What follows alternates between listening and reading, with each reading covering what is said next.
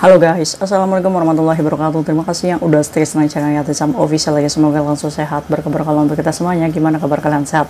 Alhamdulillah sama waras. Masya Allah kesam doakan yang lagi sakit Allah sehatkan. Teman Kaisam yang berjuang di rumah majikan Tentunya diberikan kekuatan sampai finish. Teman Kaisam yang bahagia juga tentunya jangan lupa bersyukur. Kalian hari ini puasa apa enggak? Alhamdulillahirobbilalamin cuaca panas aja ya. Panas. Ini kira-kira kalian di kamar ada kipas angin nggak? Wis. Kalau di Hongkong ya cuy ya dikasih kipas angin aja udah beruntung ya kan? Kira-kira kalian punya kipas angin nggak? Alhamdulillah Sam, saya pakai AC wis masya Allah. Berkah itu pakai AC ya kan? Uh, yang nggak punya kipas angin coba ngacung ya. Kayak saya mau beliin iya. Masya Allah kipas angin itu loh cuy yang kecil itu Hari ini kita bahas apa? Oke. Okay. Kita bahas tentang keajaiban dalam sakit yang parah aja ya di Hong Kong. Mbaknya ini koma satu bulan. Masya Allah ya. Dan sekarang juga masih ada di rumah sakit Song Soi. Alhamdulillah dia kembali seperti hidup kembali, ya kan? Bagaimana perjalanannya satu bulan koma? Kira-kira apa sih yang dirasain mbaknya ya? Kenapa sih kok bisa mbaknya itu koma nggak sadarkan diri? Ya kan? Tapi masya allah ya cuy ya. Di tengah ketidakpedulian orang Hong Kong ini merupakan majikan ter the merupakan apa uh, menurut Kayat Sam. Kenapa Kayat Sam? Nggak ada seorang majikan yang nangisin asisten rumah tangganya sampai segininya bahkan sampai mentransfer suaminya untuk ngejemput ini mbak pulang ke Indonesia. Bahkan majikannya membelikan tabung oksigen supaya dia itu bisa pulang ke Indonesia. Itu atas permintaan mbaknya yang pengen pulang. Cuma saat ini dokternya masih belum mengizinkan ya. Mungkin dalam waktu dekat mbaknya akan pulang ke Indonesia dalam keadaan yang selamat dari mati suri. Wis satu bulan cuy koma diranjang ngaplang-ngaplang aja ya. Ngaplang-ngaplang itu apa Kaisang terbaring itu kan dalam diikat tangannya. Kadang dia juga nggak sadar ya cuy ya. Ayo gimana sih kisahnya? Semoga ini menjadikan kita lebih oh iya kalau misalkan Allah udah kun tuh ya udah menyembuhkan ya nggak ada yang nggak mungkin gitu. Sampai ini sampai tempat sayurnya keteplak. Oke jadi pekerja migran ini kita sebut aja Mbak A si Mbak A ini dari PT, dari sini ya non ya. Jadi dia ini belum bisa bahasa cuy, tapi dia ini mau kerja, ya kan. Dia di sini dititipi menjaga nenek. Neneknya umur 90 ya, meninggal, sudah meninggal, baru ini meninggal. Berarti dia datang ke sini menjaga nenek umur 80 lebih ya. Nah si Mbak A ini diterima oleh keluarga besar cuy. Jadi anaknya si nenek ini ada 8 orang Cuma yang stay bareng si Mbak A ini cuma kucenya aja. Jadi cuma tiga orang nenek, Mbak A sama si kucenya aja. Anaknya, si neneknya juga ada di lantai atas ya, cuma beda flat gitu kan. Jadi setiap satu minggu sekali mereka ini selalu ada ritual makan di restoran, termasuk Mbak A selalu dibawa. Jadi neneknya ini sayang sekali sama Mbak A. Nggak tahu nih Mbak A ini pakai jimat apa. Bukan jimat, mungkin ini adalah salah satu orang yang beruntung di sini, ya kan? Udah jalannya si Mbak A. Disayang ini neneknya ini kayak anak bungsu si Mbak A ini, ya kan? Bahkan kucenya aja lebih sayang si Mbak A ini. Masya Allah ya. Nah, karena si Mbak A ini disayang ya, tibanya nih perjalanan kerjanya si Mbak A menjaga si nenek ini tujuh tahun berjalan. Eh, Mbak A, kamu kan enggak pulang-pulang cuti tuh, wis kamu cuti aja dulu, nanti balik lagi ke sini. Singkatnya sih Mbak A ini cuti, balik lagi ke Hong Kong ya kan? Saat balik lagi ke Hong Kong dalam pekerjaan tujuh tahun neneknya meninggal dunia. Ya kan? Mbak A ini karena dia ini disayang sama neneknya berasa kayak punya emak ya cuy ya. Jadi dia ini kelangon sama si neneknya ini. Berlebihan sedihnya. Nangis terus.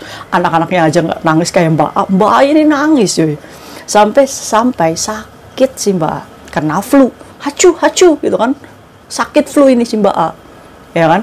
Sampai sakit tiba-tibanya esok harinya cuy. Ini udah mau kremasi ya neneknya ini dalam keadaan yang meninggal. Si mbak A ini ditemukan majikannya di kamarnya. Itu dalam keadaan begini aja melek nggak sadar. Loh panik dong kucenya ya kan? Heh heh mbak mbak kenapa kenapa ini? Udah nggak sadar ya kan itu awal mulanya dia flu karena dia nangis terus. Ini kelangon si neneknya meninggal habis pulang cuti. Kayaknya gimana gitu coy ya kan mungkin udah batin ya sama si neneknya.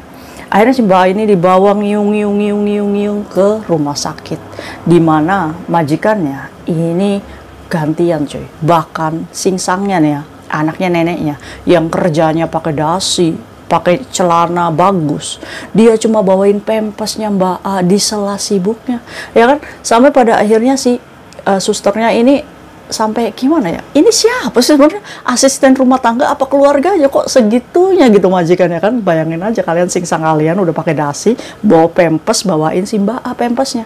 Nggak kekurangan satu apa pun. Masya allah ya ya akhirnya sih majikan ini bawain terus kucenya itu ngelapin mandiin si mbak A itu ngelap kamu kenapa? katanya tujuh tahun nggak pernah sakit sakit kayak gini. Bahkan teman-temannya disuruh nih datang sama majikannya coba kamu apa namanya jenguk si mbak A ajak ngobrol. Majikannya malah bahkan kan di rumah sakit kan nggak boleh coy ya banyak-banyak. Ini disuruh banyak-banyak sama sama majikannya bahkan sampai dimarahin katanya teman-teman yang ngejenguk itu. Dalam satu bulan apa sih yang dirasain Mbak A? Kayak sam kepo. Mbak A, apa yang dirasain dalam satu bulan? Hmm, macem-macem kayak Tisam. Apa macem-macemnya itu? Jadi saat dia ini koma ya, kan banyak tuh majikan jenguk apa ya. Nah ini cerita versi Mbak A-nya saat dia koma itu yang dirasain apa? Saya jalan-jalan kayak Tisam. jalan-jalan ke mana kamu? Ke Bali kayak Sam. Naik Lamborghini tapi kaki saya diikat. kan dalam keadaan posisi nggak sadar di rumah sakit kan pada diiketin ya cuy ya. Jadi naik Lamborghini, mobil, mobil mewah, diikat kakinya, terus dia jalan-jalan ke Bali, ya nggak bisa keluar ya dari mobil. Aduh, setelah itu Kaisam, saya pulang ke rumah. Ini dalam dalam mati surinya ya. Saya pulang ke rumah, saya ngelihat suami saya nikah sama tetangga depan Kaisam. sampai punya anak Kaisam astagfirullahaladzim ya Allah semoga langgeng pernikahan yang bahaya itu cuma halusinasi kangen aja sama suami ya kan? Terus adik saya udah nikah nikah lagi Kaisam aduh. Nah pas kamu sadar habis dari Bali kamu ke mana? Saya diajak nenek saya yang meninggal tadi. Nah, nenek yang dijaganya. Dibawa ke taman. Saya kayak saya biasanya saya nggak pernah nolak nenek saya. Saat itu saya nolak. Udah nek saya nggak mau ikut ke taman. Saya capek duduk aja di sini katanya Nah setelah itu cuy, baru Mbak A ini dalam keadaan sadar dari koma satu bulan. Yes, dari koma satu bulan si Mbak A ini bukan langsung saya di mana ya? Enggak, ngamuk. Karena apa? Pengaruh bius. Di bius kan ya, kan udah nggak bisa digerakin satu bulan ya kan? Jadi udah nggak bisa gerak, maksudnya kaku lah cuy satu bulan kamu ngaplang-ngaplang aja gitu di ranjang ya kan? Akhirnya pas pas bangun itu cuma bisa gitu karena nggak bisa digerakin. Apakah apakah nggak bisa gerak? Kaisam enggak karena memang pengaruh bius cuy. Ya kan? Terima kasih nih buat teman-temannya Mbak A yang udah support ya. Terus akhirnya si Mbak A ini dalam sehari ya kan? Ada majikannya tuh datang aduh kamu pengen apa? katanya. Nah si mbak A juga punya utang bank tapi majikannya tuh bagus. Ngomong sama sama sama temennya itu eh apakah si mbak A ini punya bank di sini? Iya udah kamu nggak usah ngomong-ngomong dulu nanti aja kalau dia udah baik kan baru kita ngomong masalah ini. Coba majikan kalian ya kan? Kalian punya hutang bank gitu kan ini Mbak Ani luar biasa, Masya Allah ya, kenapa ini? Kok bisa ada orang yang seberuntung ini di Hongkong ya cuy ya? Pada akhirnya si Mbak ini udah bisa ngomong, ya kan udah udah mentalnya udah membaik, terus ditanya sama majikannya, kamu pengen apa? Saya mau pulang aja ke Indonesia, saya pengen suami saya jemput. ini Mbak ini mina-mina ini ya. Akhirnya apa? Oke oke oke, saya buatkan paspor suaminya. Pa suaminya dibikinin paspor cuy nanti suaminya mau jemput ke sini. Jadi uh, dari sakitnya sampai sadarnya ini satu bulan. Mbak A ini sudah sudah sadar sekarang dan masih ada di rumah sakit tahap pemulihan sampai dokter mengizinkan dia pulang. Terus dokternya masih belum mengizinkan cuy. Nah kalau misalkan Mbak A ini pulang, dia ini nggak boleh lepas oksigen cuy. Jadi dia harus uh, pakai tabung oksigen yang dibeli majikannya sebesar 40 ribu Hongkong dolar. Udah disiapin. Ya Allah kayak Tisam tuh seneng ya. Astagfirullahaladzim ya Allah semoga teman-teman kayak saya yang di luar sana yang sakit sama halnya mendapatkan keberuntungan seperti ini. Amin ya cuy ya. Jangan lupa sholawat sholawat terus terus ya kan? Akhirnya si mbak ini berbagi kisahnya supaya uh, teman-teman yang lain itu ayo bangun. Ya jangan mati harapannya. Terus Kaisam ngomong, kenapa kamu cerita sama Kaisam? Kemarin Kaisam saya melihat mbak yang minum biopasoy, ya kan? Kok segitunya menghadapi persoalan? Padahal lo saya juga sama punya hutang, saya ditimpa sakit yang nggak tahu saya itu bakal sembuh, bakal bakal siuman lagi. Saya lebih berucap bersyukur. Saya pengen memotivasi teman-teman bahwa jangan jangan mati harapan. Ayo bangkit kalian yang lagi sakit, yang mungkin sudah stadium berapa, bangkit ya mumpung kalian di Hong Kong sembuhkan. Mbak mbak A ini cuy. Ruangannya udah bener-bener ini selang ini selang selang. Sakit apa sih kayak tisam nah jadi cuy mbak ini didatengin penerjemah dikasih tahu kamu tahu nggak sakitnya apa? Terakhir itu saya flu.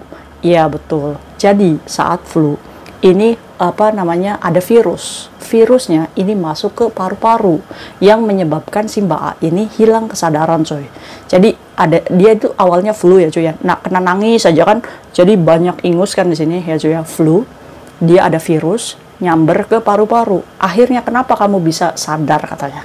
Karena dicari pernafasannya itu adanya di ketek cuy. Jadi keteknya itu dilubangin sedikit sama dokter dan bisa bernafas. Akhirnya Mbak A sadar. Ini masih umur panjang ya Masya Allah buat kalian nih hati-hati ya. Ja, jangan berlebihan bersedih tuh ya cuy ya. Istighfar kalau kalian kehilangan istighfar astagfirullahaladzim. Demi apa? Demi kesehatan kalian sendiri oke? Okay? nah karena antibodinya si Mbak A ini nggak bagus makanya dia ini koma.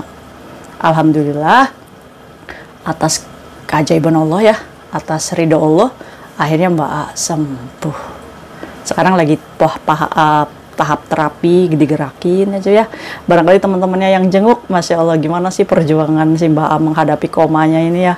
Aduh Kaisam dengerinnya tuh ada lucunya. Suaminya nikah lagi katanya cuy.